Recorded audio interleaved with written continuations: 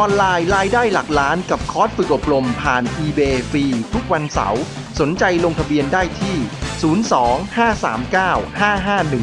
02-539-5512 หรือทาง www.wisethailand.com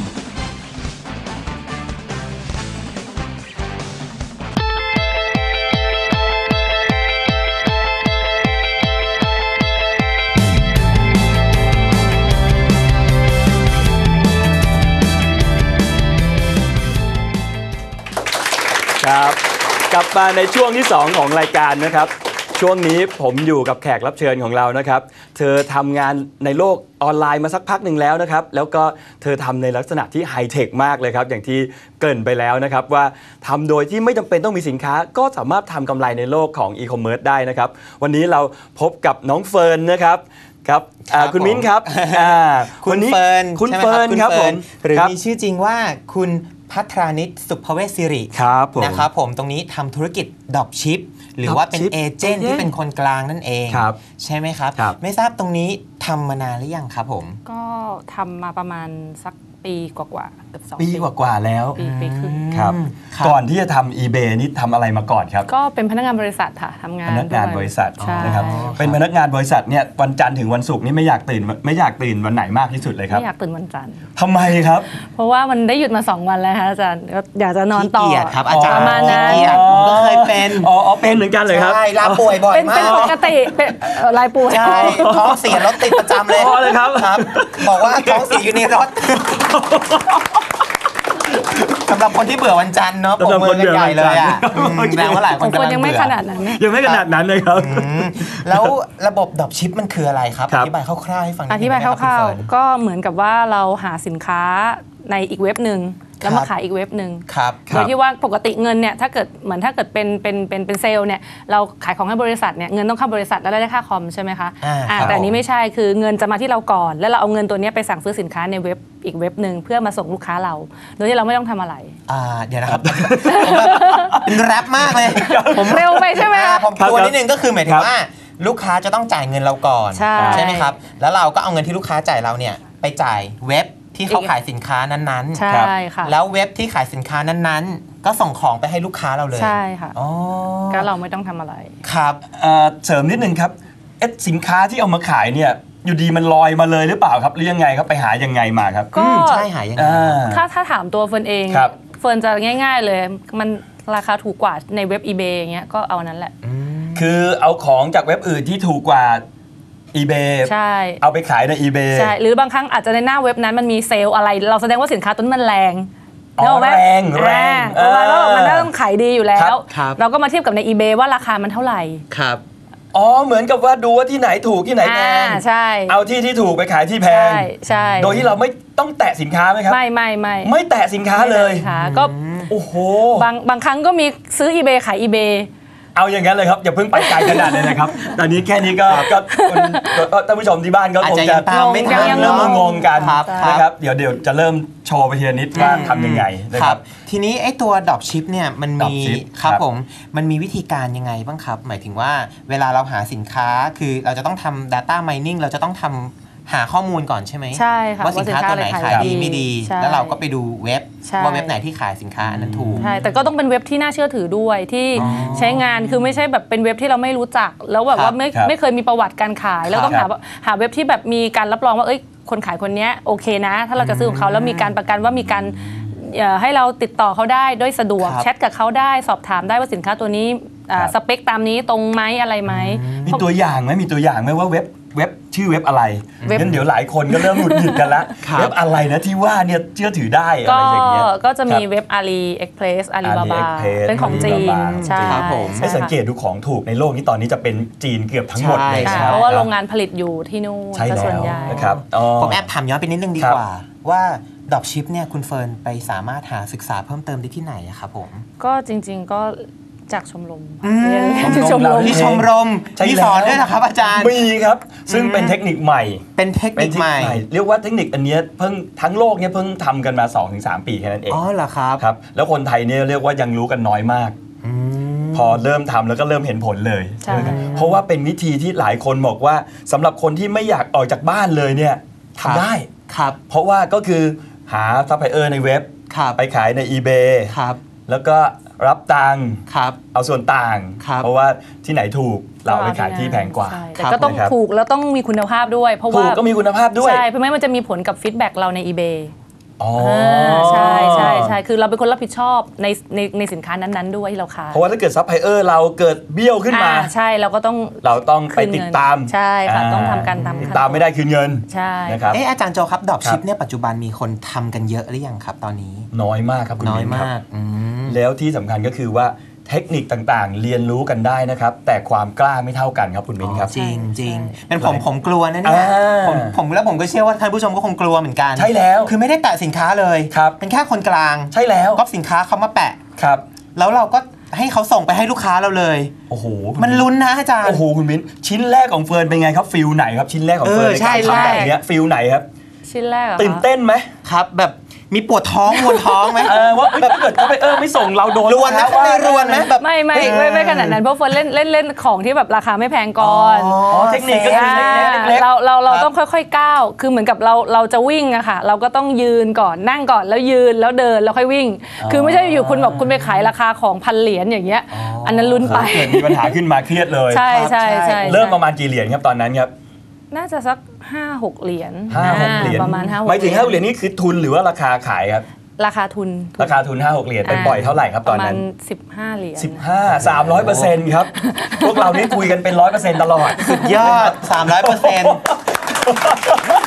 ครับ300เปอร์เซ็นต์แนวไหนพอบอกได้ไหมครับแพรมมานิดนึงครับ ก็ของทั่วไปเลยค่ะเป็นของทั่วไปแพงจริงๆครับเอ่อแพรมมากเลย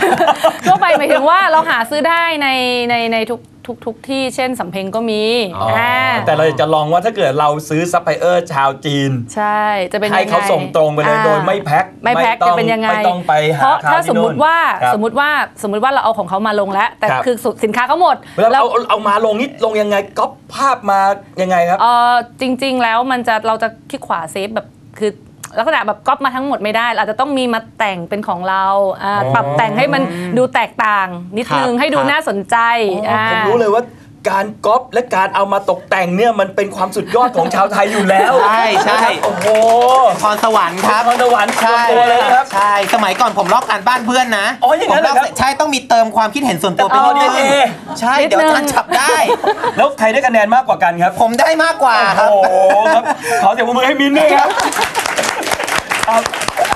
เดี๋ยวครับต่อเลยครับคุณเฟิร์นเอ๊ะแล้วอย่างพออย่าเอางมาลงแล้วเอามาลงก๊อปภาพก๊อปภาพมาปุ๊บใช่ไหมค่ะคำบรรยายต้องไหม ต้องค่ะ อาจจะปรับแต่งนิดนึงเพราะว่าใน ปรับแต่ง eBay คำบรรยายเช่นบางครั้งที่เขาทำมาในคำคำของเขามันอาจจะไม่ได้บ่งบอกสินค้าตัวนี้มาก เช่นสมมติมันอาจจะเป็นกระเป๋าใบหนึ่งครับที่ใส่ iPhone ได้ แล้วก็บอกบอกไปด้วยว่าเออมันใส่ iPhone ได้ด้วยนะ อ๋อให้มันน่าสนใจเพราะว่าเหมือนที่เรารู้กันว่าคนใน eBay บางครั้งหาจากคีย์เวิร์ดครับ อ่าประเภทสินค้าพวกอ่า ไทครัป์บของสินค้าถูกต้องไหมอะไรมันก็มีรายละเอียดตรงเนี้ยค่ะที่เราต้องทำครับบางครั้งก็เป็นสินค้าที่เราไม่รู้จักเลย แล้วก็ต้องความทำความรู้จักกับมัน เพราะบางครั้งเราอาจจะต้องตอบลูกค้าด้วยอ๋ออ่อ่าใช่ต้องต้องสื่อสารกันก่อนไหมก่อนที่เราจะไปหยิบของของเขามาจากเว็บของเขาเลยเนี่ยเอ่อต้องสื่อสารกันก่อนไหมแรก ๆ สื่อสารหลัครังบๆไม่ค่อยเอายังไงครับสื่อสารยังไงครับคือแบบคือคือบางมันมันถึงว่าเรายังยังใหม่ไงคะเราคก็รับยังแบบคุยกับเขา คุยกับเขาในบางโตะในในทุก ๆ ตัว อ่า แต่พอนานไปเราซัพพลายเออร์คนเนี้ยเรารู้จักกันแล้วเรียกว่ามืออาชีพ คือว่าคือเคยซื้อกับคุยกันแล้วคุยกันแล้วคุยแต่เปลี่ยนกัสินค้าเปลี่ยนสินค้าเฉยๆเราแปลรู้ว่าถ้าเออคุณมีสินค้าเยอะแยะมากมายใช่ใช่ใช่ค่ะ ครับมีมีคำถามครับคำถามคำถามค่ะ อ่าถามเลยครับ ถามคุณเฟิร์นหรือถามผมครับ ถามคุณเฟิร์นค่ะ ค่ะคุณเฟิร์น ได้ได้ค่ะครับ คืออยากจะทราบว่าคือ dropship นี่คือทำมาปีหนึ่งแล้วใช่ไหมคะ dropship ไม่ไม่ไม่ค่ะ เพิ่งเริ่ม dropship มาสัก สามสามถึงสี่เดือนประมาณคือประมาณ3-4 เดือนนี่คือมีปัญหาอะไรไหมคะ กับลูกค้าคือบริการหลังการขายอะค่ะ เออใช่ใช่เสียวใช่มากปัญหาเลยอะมันคือคือเฟิร์นอยากจะบอกว่างานทุกงานมีปัญหาค่ะ ถ้าเกิดมันมีปัญหาแสดงว่าคุณทำงานอ่านี่คืออย่างหนึ่งที่คิดสำหรับปัญหาสำหรับเฟิร์นนะเฟิร์นเลยมองว่ามันเป็นงานมันไม่ใช่ปัญหาที่แบบจะต้องวุ่นวาย แต่ถามว่ามีก็คือมากสุดก็เอ่อสินค้าถึงช้าใช่ไหมคะ หรือบางประเทศที่เราต้องยอมรับว่าขนส่งเขาอาจจะไม่ดีแต่เรามี tracking ไงคะว่า ปกติ dropship เนี่ยเอออย่างหนึ่งที่เฟิร์นจะบอกให้ว่าคือว่าเขาจะมีการลงทะเบียนสินค้าด้วย สามารถตรวจสอบได้ในเว็บ ถ้าเราเช็คแล้วเนี่ยไปถึงประเทศเขาแล้วนะคะ แต่ว่าในการขนส่งในภายในประเทศเขามีปัญหาเองจริงๆเนี่ยเราก็จะให้เขาติดต่อกับตัวเอ่อขนส่งของเขาเองค่ะ ว่าเออเนี่ยเรามีการส่งมีการยืนยันเราก็อาจจะไม่ต้องคืนเงินในกรณีนี้ หรือบางครั้งแบบเฮ้ยมัน 2 เดือนแล้วมันยังไม่ได้จริงๆเนี่ยครับเราก็แสดงความรับผิดชอบ เพราะการทำให้ลูกค้าแบบพอใจเราแล้วซื้อซ้ำมันดีกว่า การคือถือว่าถ้าเกิดอ่า เหมือนคุณมิ้นท์เนี่ยค่ะซื้อของเฟิร์นแล้วแล้วพอใจ แล้วทีนี้เอ่อจะมีเพื่อนเขาของคุณมิ้นบอกเฮ้ยร้านนี้ดีมากเลยนะของไม่ได้ แต่เขาคืนเงินเขาดูแลเขาส่งไวหรืออะไรก็ตามแต่เนี่ยบอกต่อเขาบอกต่อครับแล้วเขาก็มาซื้อเรา หรือบางครั้งอาจจะทำให้มีการซื้อขายนอก นอกเหนือจากตรงนี้ไปด้วยอ๋อเออใช่ใช่มันจะดีตรงนี้ค่ะแล้วเปอร์เซ็นต์ของปัญหามีสักกี่เปอร์เซ็นต์ใช่ไหมครับน้องอยากรู้ใช่ไหมครับใช่สักกี่ค่ะปอเพราะว่าซ็นต์เพราะว่าถ้าทำไปนานๆมันอาจจะแบบว่ามีมีปัญหาคือต้องต้องมีอยู่แล้วล่ะค่ะใช่เป็นเรื่องปกติของปัญหาทุกทุกในทุกทุกอาสมชีพมุติว่าสินค้าร้อยชิ้นครับมีปัญหาสักกี่ชิ้นครับโดยธรรมประชามาติณสักสามถึงห้าสามถึงประมาณไม่เกินเนี้ยปค่ะระมาณไม่ไม่เยอะมาก5%เต็มไม่เยอะที่มาก maximum ใช่ใช่ก็มีใช่เสียหายบ้าง มันเป็นเรื่องของ ธุรกิจปกติครับ ที่ต้องมีค่ะ แต่กำไรไปแล้วชิ้นละประมาณ 300%ไปบางอีกบางชิ้น 97 ชิ้นตู้ตู้ๆกันไปนะครับ ตู้กันไปตู้นะๆคกัรับนไปอ๋อเออโอ้โห เอ๊ะแล้วอย่างสินค้าเนี่ยคุณเฟิครัร์บนจะต้องมีการ ถ้าซื้อครั้งแรกมีการจะต้องลอง สั่งลองมาดูก่อนไหมครับมีค่ะมีมีอืมเป็นอินสเปกก่อนอย่างนี้ใช่ค่ะอ่า บางอย่างก็ได้ ควรก็ควรจะอินสเปกด้วยเนาะชื้นใช่แบบว่าสบายใจนิดนึง ใช่ จะได้นอนหลับนิดนึงอืมนะคว่ารับแบบสินค้ามันเป็นยังไงอะไรอย่างใช่นี้ค่ะ อ๋อสรุปก็คือต้องมีแท็กกิ้งในการเช็ค อ่าใช่ป้องก็คือเพื่อป้องกันตัวเองทำให้เช็คเริ่มแพลมๆมาได้อย่างว่าตอนนี้ขายแนวไหนเออมีใครอยากใครอยากรู้ช่วยช่วยปรบมือหน่อยครับช่วยปรบมือหน่อย เห็นไหมครับ อยากรู้แล้วอะก็ แนวไหนดีครับ มีมีตัวอย่างในภาพสังเกตบนโต๊ะเราวันนี้ไม่มีอะไรไม่มามีอะไร วางอาจารย์สินค้าหายไปไหนหมดอะเพราะว่าสินค้าของเราคือจากเว็บไซต์ทั่วโลกครับอ๋อ อยู่ในเว็บไซต์อทั่ยู่วในโลเว็กบไซต์ทั่วโลกครับที่ไหนก็ได้ครับ ครับ เราขอให้ติดต่อเขาคุยกับเขาบอกเราจะเอาของคุณไปขายนะ เราบวกกำไรได้แล้วพอได้ออเดอร์มาปั๊บเราค่อยส่งออเดอร์ให้เขาครับเห็นว่าวันนี้คุณเฟิร์นมีสินค้ามาโชโชว์ว์ด้ด้ววยยโชว์หรือเปล่าใช่ค่ะนะตัวหนึ่ง เฟิร์นขอภาพเลยครับขอภาพประกอบเลยครับ อ่าอืมภาพประกอบเดี๋ยวมาดูกันรู้สึกว่าเห็นว่าคุณมีทั่วเฟิร์นโลกจะหนูจะบังใช่ไหมคะอาจารย์ใช่อยู่ตรงจรินี้งๆอยากหนูก็เลยให้ขึ้นจแบบอว่าใหญ่เลยดีกว่านะครับว่าเอ๊ะแนวไหนนะครับ เพราะว่าอ๋อโอเคครับ อันนี้เป็นอะไรครับมันเป็นคือเป็นอะไรมันคืออะไรเป็นยาหรือเปล่าครับครับไม่ใช่เหมือนเหมือนเหมือนพวกยานบินพวกใช่เรือโฟอะไรอย่างเงี้ยพวกอะไรอย่างแบเงี้ทยแมครับนได้ลงไปขี่ได้หรือเปล่าไม่ใช่ค่ะตัวจริงใหญ่ไหมครับเนี่ยก็ไซส์ไซส์จะใกล้ใกล้ใกล้ๆตัวนี้คล้ายๆอันนี้หรือคเปล่าล้ายคๆรับอันนี้ค่ะเอาคล้ายๆอันนี้ แต่ว่ามันเป็นเขาเรียก power bank ก็คือมันคืออะไร มันคืออะไรรุ่นอาจารย์อาจจะยังไม่ค่อยได้ใช้ไอ้ยาไอ้ยา หมายคุ้ยว่ายังไงเนี่ยยังไงครับเนี่ยเอาช่วยอธิบายหจน่อยริงๆแล้วปกติเนี่ยเมื่อก่อนเนี่ยเวลาเราครับเราเราจะเปลี่ยนโทรศัพท์ มันจะครับต้องเปลี่ยนแบตถอดแบตเข้าคถรัอบดแบตออกอะไรอย่างนี้ใช่ไหมคะแต่ครับผมถ้าเป็นอย่างเงี้ยเราไม่ต้องเราครัก็บคือจะชาร์จแบตไว้ตัวเนี้ยแล้วมันก็จะมีสายตรงเนี้ยค่ะ แล้วเสียบจากสายเข้าโทรศัพท์เราโดยตรง สมมติว่าบางครั้งเราไปในที่นั่นไงเห็นไหมอ่าผมสรุปให้ผมอาสรุจารปย์ให้ทำหน้างงอะผมพอเข้าใจผมพอเข้าใจคุณมิ้นครับช่วยผมหน่อยครับเดี๋ยวผมช่วยอาจารย์ผมช่วยอาจารย์เห็นไหมอาจารย์ทำหน้างงอะมันบอก พูดง่ายๆว่ายูบ่าวเนี่ย ยูบ่าว มันเป็นแบตสำรอง อ่า พลังงานมันอยู่ในนี้อ๋อทุกวันนี้อาจารย์ เวลาชาร์จมือถืออาจารย์เอาไปเสียบปลั๊กไฟใช่ไหมอ่า อ่าอาจารย์เออเอออัอันเนี้ยการไฟฟ้ามาเองอ่าฮะใช่ใช่ ไฟฟ้าไปมันอที่ยู่ภาในคใต้นี้เร็วๆเนี้ยเหรอคไม่รับ ใช่ มันอยู่ในนี้แล้วเราเอามือถือออเสียบอันนี้แล้วมันครับ ชาร์จเข้ามือถือเราเลย ก็คือว่าเป็นเป็นเหมือนเป็นแหล่งพลังงาน power สำร bank อง power bank อะไรอย่างเงี้ยอาจารย์ชื่อก็ power bank power bank ผมก็นึกว่าอ่าธนบัตรอะไรอย่างนี้ไม่ใช่เลยครับนะไม่ใช่ค่ะ อ๋อคือไม่ใช่เอามาเสียบตรงนี้ทีก็สามารถชาร์จใช้แทได้นไฟแล้วบ้านอาจจะไปเที่ยวหรือว่าออกใช่นอกบ้านมันไม่ไปมีนานๆ ไม่มีพื้นที่ในการที่จะให้เสียบโดยตรงจาก บางทีใช้ไปทั้งวันแล้ว พอใช่ค่ำๆอย่างคุณมิ้นเนี่ยไม่สะดวกคุณมิ้นยังไม่ยอมกลับบ้านจนกว่าตีสามตีสี่ไอ้ยะ ใช่ไหมก็ใช้ของว่าแบงไอ้ค์ยะอาจารย์เอคะไปได้ไงเนี่ย อ๋อแล้วแล้วเมื่อกี้ยังไม่ได้ดูราคากันเลยครับครับราคาอ่ราคาเป็นไงครับเท่าไหร่จากครับจากเมื่อกี้ที่ที่เราไปไปเรียกว่าบางคนเรียกไปจับมาใช่อ่าในอันนี้คือใน eBay ใน eBay ใช่ไหมในครับค่ะ eBay ครับอยู่ที่ 36 เหรียญครับผมนะครับยังมีค่าขนส่งด้วยนะอีก16 16 เหรียญอ่า95 ก็รวมประมาณสัก 50 เหรียญใช่ลูกค้าใช่ลูกค้าจ่าย 50 เหรียญประมาณใช่แล้วเราขาย 50 เหรียญเนี่ยทุนของเราที่ไปเอามาจากเว็บไซต์อื่นเนี่ยเท่าไหร่ก็เนี่ยอืมเท่านี้ค่ะ โอเค อันนี้คือประมาณ เป็น25 อันนี้คือเป็นในส่วนของเว็บ 25 เหรียญ AliExpress นะคใช่รับค่ะ 25 เหรียญ ประมาณ 25กำไรก็100%เปอร์เซ็นต์ร้อยเปอร์เซ็นต์เนี่ยเอ่อคุณเฟิร์นต้องแพ็คเองไหมไม่ค่ะ เพราะว่าทางซัพพลายเออร์แพ็คให้ ใช่ค่ะ ก็คือคุณเฟิร์นสรุปแล้วคุณอยู่หน้าจอคอมพิวเตอร์แล้วคุณก็คลิกไปคลิกมา ใช่ค่ะ คลิกขวาก็ปี้คลิกขวาก็ปี้ อ่าค่ะ อาชีพ ได้หลักได้ตังค์แล้วได้โอ้โหไฮเทคจริงๆเลยเนี่ยสุดยอดวันนี้ลงมา น้องก็อยากถามมากเลยครับ ผมแสบตามากกับเสื้อสีส้มครับ เชิญเลยครับ ค่ะ เอ่ออยากถามอยากถามว่ามีความเสี่ยงมากไหมคะทำงานด้านนี้อืม dropship เสี่ยงมากไหม เสี่ยงไหม ถ้าถามก็คงกลับไปอันแรกที่เฟิร์นบอกว่ามันมีมีโอกาสเสียหายประมาณสัก 3-5%อยู่แล้ว มันคือ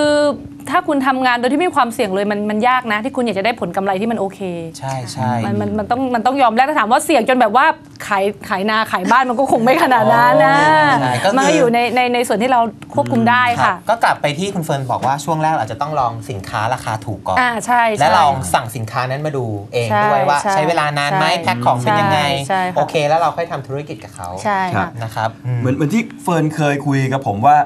เราคิดว่าถ้าเกิดว่ามันมีปัญหาชิ้นนี้เนี่ยอย่างมากก็แค่คืนเงิน ใช่ค่ะ คืนเงินลูกค้า ครับ แต่ถ้าเกิดว่ากำไร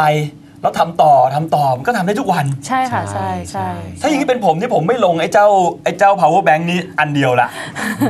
ผมจะเอามาเป็นพันๆชิ้นเลย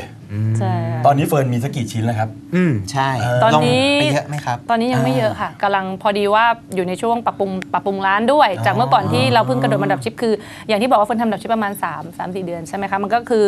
ค่อยๆ ทยอยเติมเติมไปเรื่อยๆ ก็อาจจะอยู่ประมาณสัก 3 4 0 0 ชิ้นอยู่ณตอนนี้สี่ร้อยชิ้นแต่ตั้งไว้คือพันชิ้น พันชิ้น เพราะว่าอาจารย์ลองนึกถึงว่ากำไรแต่ละชิ้นใช่ไหมคะครับ โอกาสที่มันจะขายได้อาจจะไม่ขายได้ได้ทั้งพันชิ้น อ่า อาจจะขายได้แค่แบบถึงครึ่งหนึงก็ 500 ชิ้นแล้วอะห้าร้อยชิ้นใช่ไหม กำไรชิ้นละ 25 เหรียญอ่าเนี่ยอะไรนะอย่างเงี้ย เออเนอะเราเราคิดเราคิดง่ายๆ อย่าคิดอะไรให้มันยากทำ business ก็คือสมมติว่าลงให้เยอะแล้วก็สมมติว่าครึ่งหนึงเงี้ยเออออ๋อแปลว่าก็คืออยู่หน้าคอม ค่ะ วันนี้มีออเดอร์เข้ามาสมมุติว่า 50 ชิ้น เราก็ส่งออเดอร์ให้กับทางซัพพลายเออ supplier ร์เราเราอาจจะเป็นเว็บของจีน ใช่ค่ะ เว็บของจีนได้ออเดอร์จากเราพร้อมกับ เงินที่เราจ่ายไปเป็นต้นทุนสินค้าใช่ตัวนั้นค่ะกำไรใช่ค่ะเราเก็บไว้เองใช่ค่ะ แล้วทางคนจีนก็ส่งตรงไปให้กับลูกค้าสมมุติว่าอยู่ที่อังกฤษหรืออเมริกาใช่ค่ะ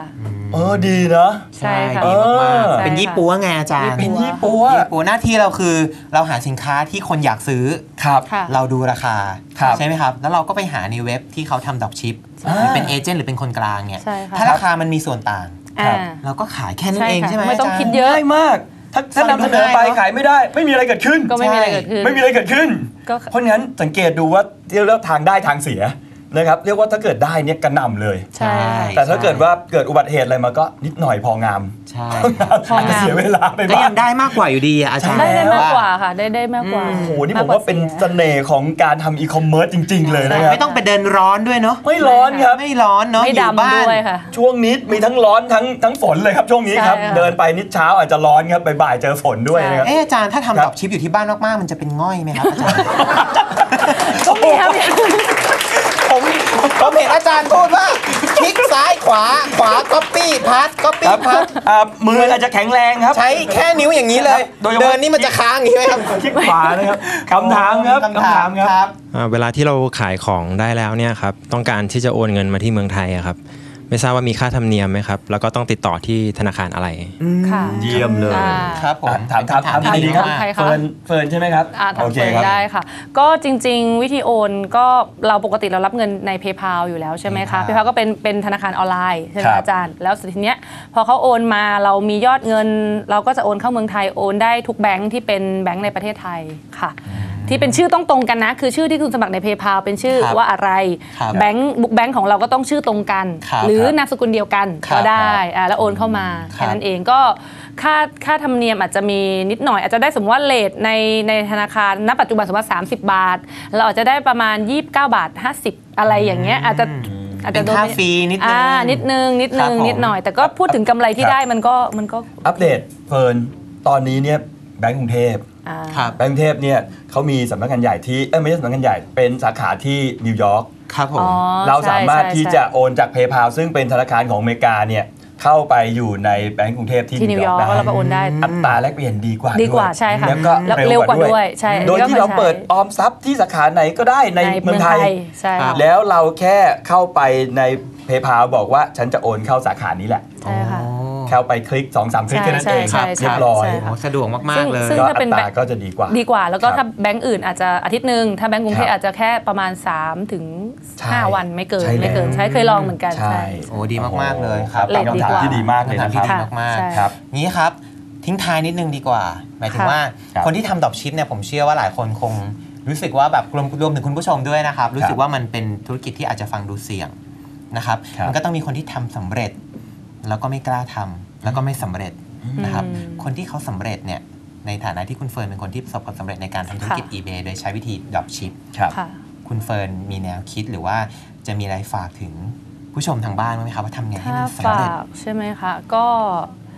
ก็คงเป็นเป็นเป็นเรื่องของเอ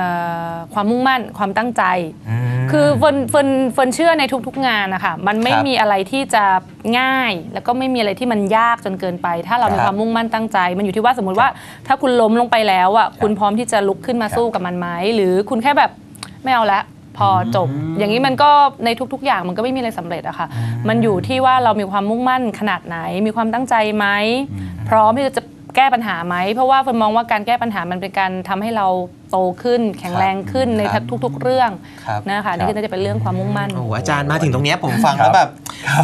ผมอยากเป็นยี่ปัวแล้วอะ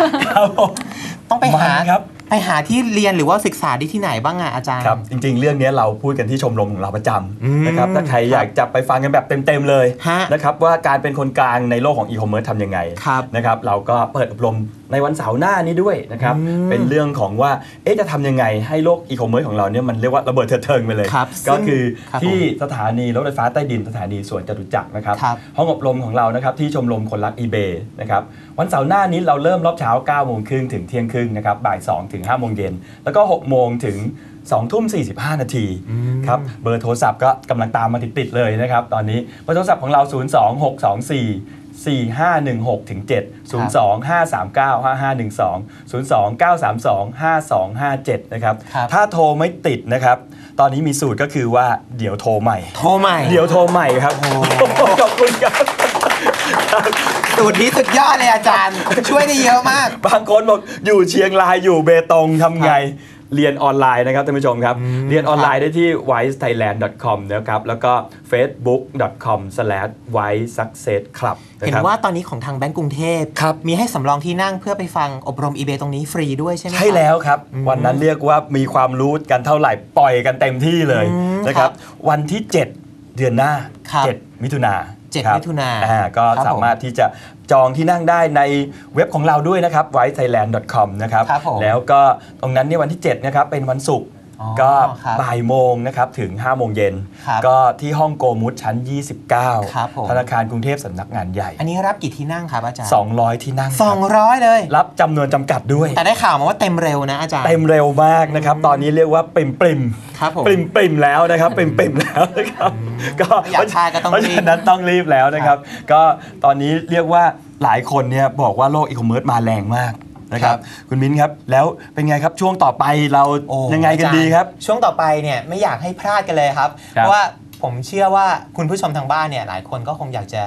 รู้ว่าจะเอาสินค้าอะไรไปขายใน eBay ดีครับสินค้าอะไรที่มันทำเงินทำกำไรดีๆนะครับ เดี๋ยวช่วงหน้ากลับมาพบกันใหม่อย่าเปลี่ยนช่องไปไหนนะครับ เดี๋ยวพักกันสักครู่ครับ